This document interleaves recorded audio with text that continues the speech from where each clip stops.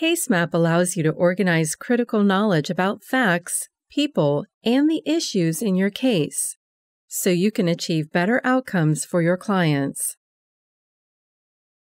In CaseMap, the structure of the case is provided by five main spreadsheets facts, objects, issues, questions, and research.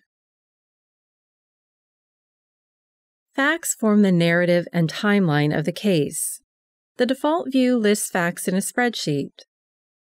The Fact Cards view gives you a visual map of the facts sorted by issue and evaluation.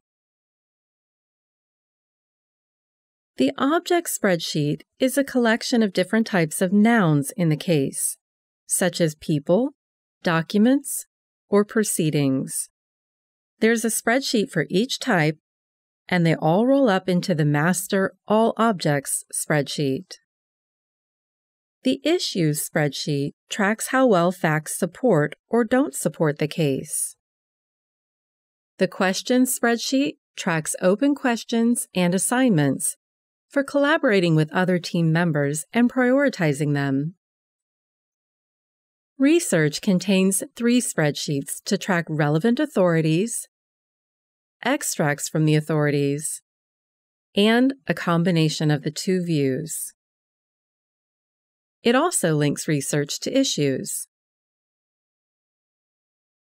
CaseMap easily integrates with Lexis using the Smart Assist search tool. You can run a Lexis search right from CaseMap and then add your research results to your case file. There are three primary methods for adding information into CaseMap by typing information directly into the fields, or importing files, such as documents, videos, or photographs. During the import process, CaseMap automatically creates a comprehensive index, which allows you to quickly search case data. Or sending information from other programs such as Outlook, Word, Acrobat, or other programs in the CaseMap suite of products, such as TextMap.